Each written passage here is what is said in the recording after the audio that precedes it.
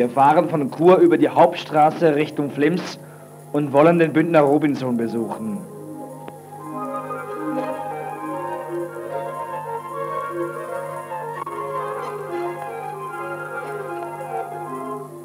In Trinmolin verlassen wir die Hauptstraße und fahren durch den Wald nach Conn.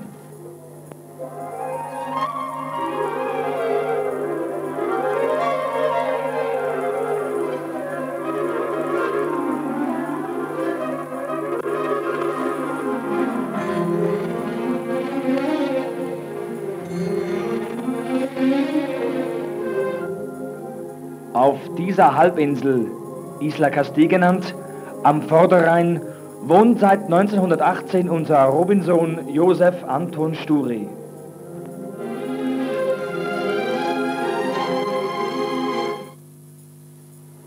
Ein steiler Fußweg führt zu ihm hinunter. Diesen Weg mussten früher seine Kinder im Sommer und im Winter benutzen, um in Flims die Schule zu besuchen.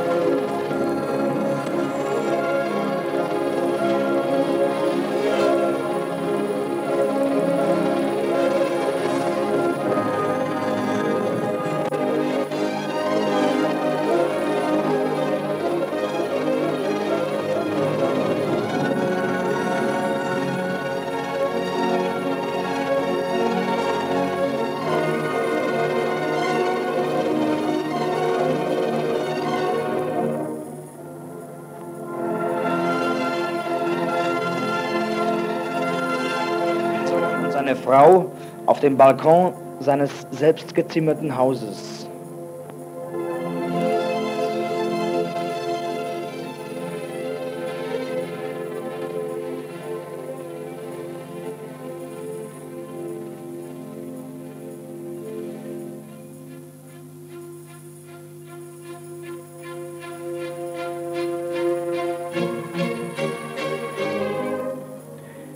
Hier befindet sich eine Wasserquelle, die das ganze Jahr die gleiche Temperatur aufweist.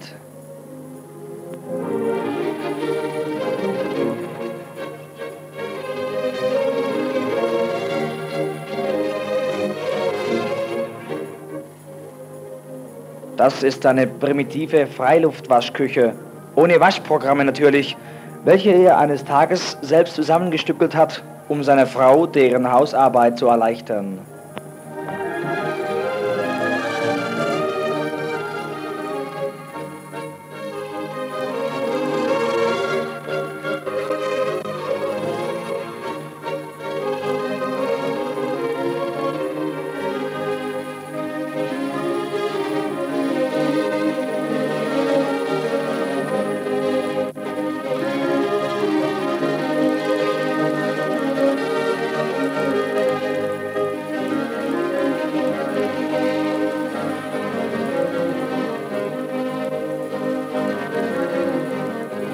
Ich habe mir so vorgestellt, Sie sind ja in Chur geboren, nicht? Ja, Und wo genau in Chur? in der Wedau.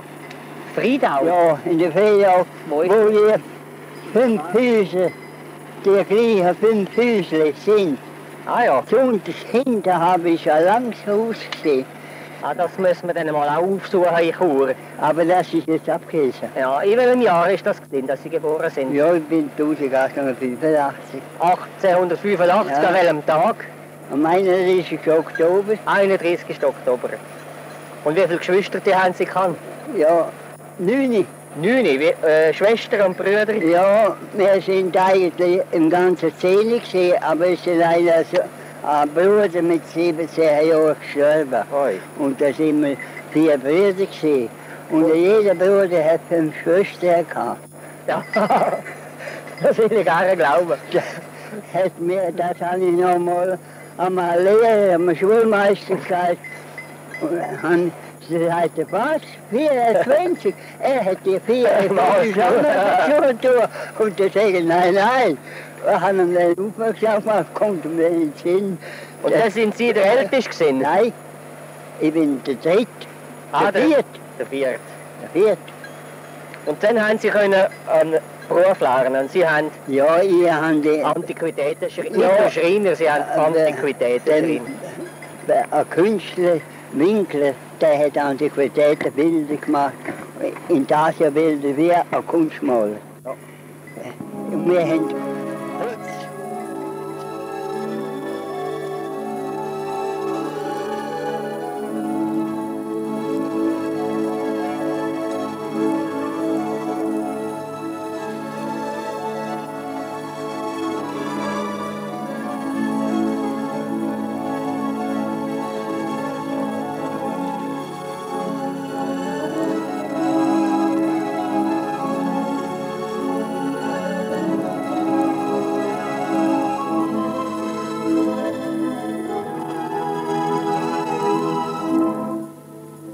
Er erlernte den Schreinerberuf und ging, wie es üblich war, als Geselle auf die Walz, die ihn weit über die Schweizer Grenze in verschiedene Staaten, ja sogar in den Orient brachte.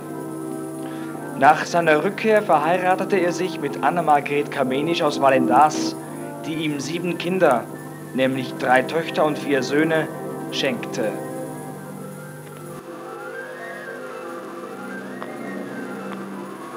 Meine Ahnen lebten bis ins 15. Jahrhundert in Griechenland als Fischer, wo sie sich am Flusse Sturia ihr Brot verdienten.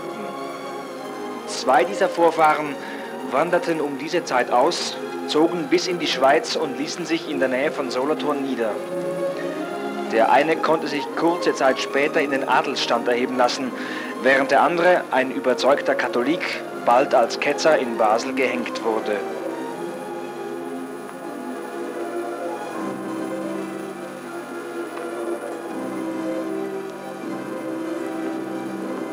Weil alle Schriften irgendwann einmal verbrannt sind, konnte ich mein schweizerisches Bürgerrecht nicht nachweisen und wurde darum als deutscher Staatsangehöriger im Ersten Weltkrieg in die deutsche Armee einberufen.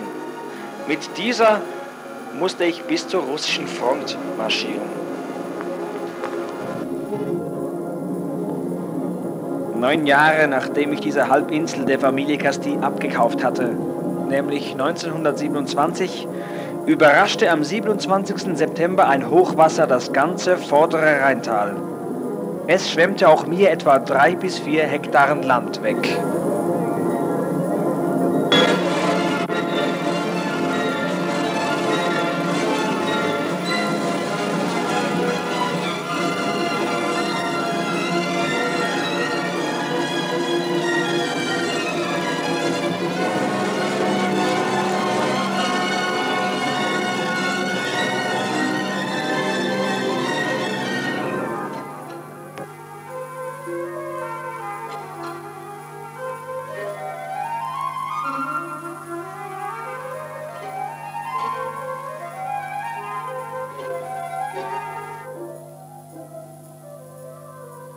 Sturi betrieb hier eine Forellenzucht.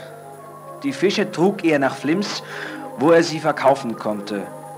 Für diesen kleinen Verdienst musste er jeden Tag einen mühevollen, steilen, zweistündigen Weg auf sich nehmen.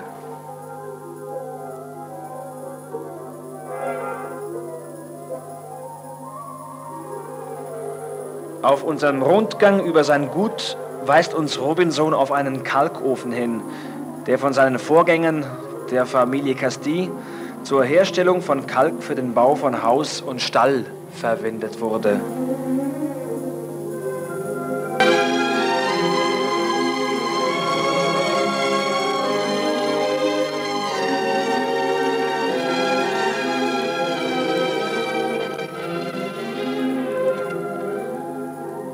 Bei Geburt eines jeden Kindes kaufte Sture eine Ziege, welche den jeweiligen Sprossling die erste Zeit mit Milch versorgte.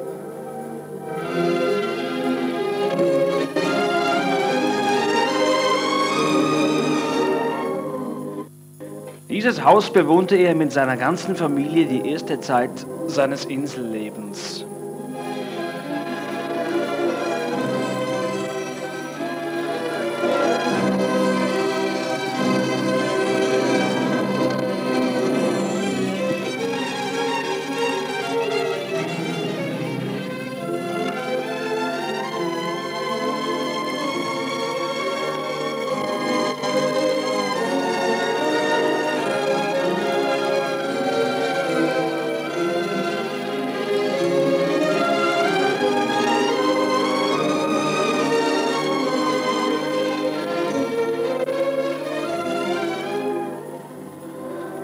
An Strom mangelte es der Familie Sture nicht auf der Halbinsel.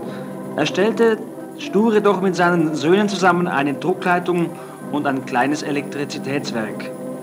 Damit wurde auch seine Sägerei betrieben, welche wiederum Voraussetzung für den Bau seines zweiten Hauses war.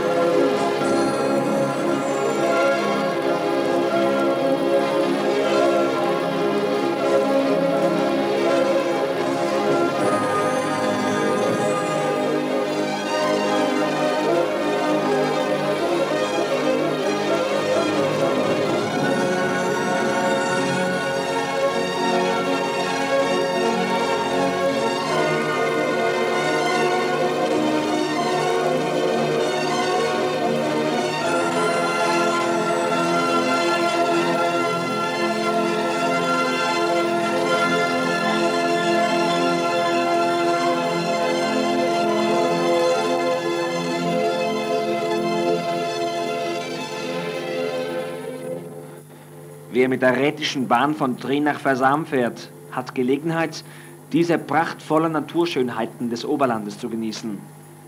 Ursache war der Flimser Bergsturz, der vor etwa 15.000 Jahren stattgefunden hat.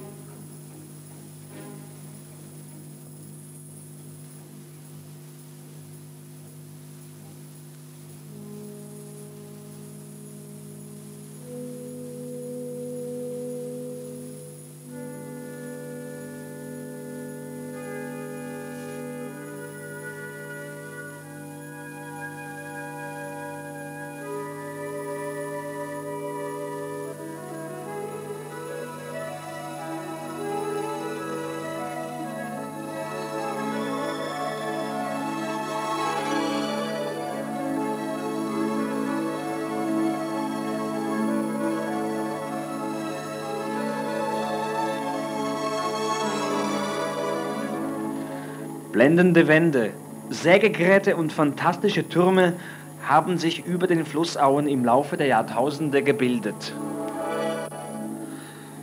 Das Familienleben zeichnete sich durch einen engen Zusammenhang aus.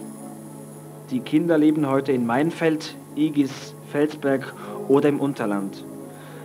Eine Tochter fand sogar aus der Einsamkeit in die Weltstadt New York, wo sie sich einige Jahre aufhielt.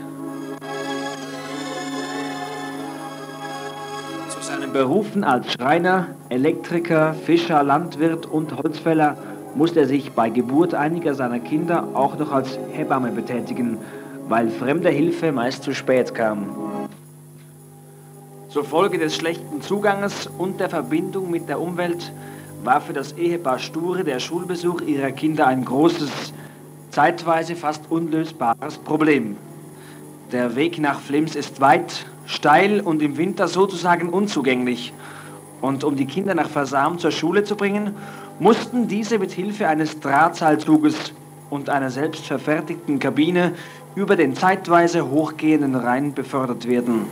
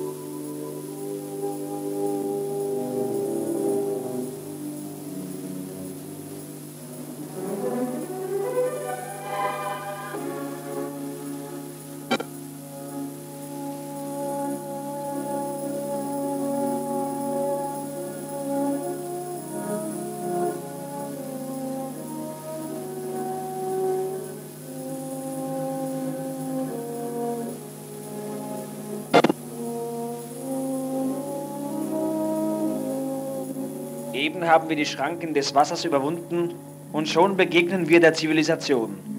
Neben der primitiven Drahtseilbahn die moderne Eisenbahn, ein Kontrast unserer Zeit. Wir nehmen Abschied von einem Mann, der lebtags unerkannt blieb und trotzdem Großes geschaffen hat. Ein Mann, der sich der Natur verschrieben und die Gesellschaft mit all ihren Vorteilen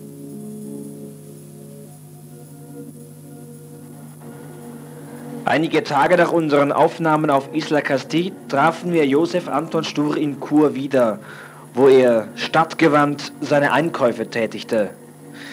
Wir hatten also nochmals Gelegenheit, uns kurz mit diesem sympathischen Greis zu unterhalten.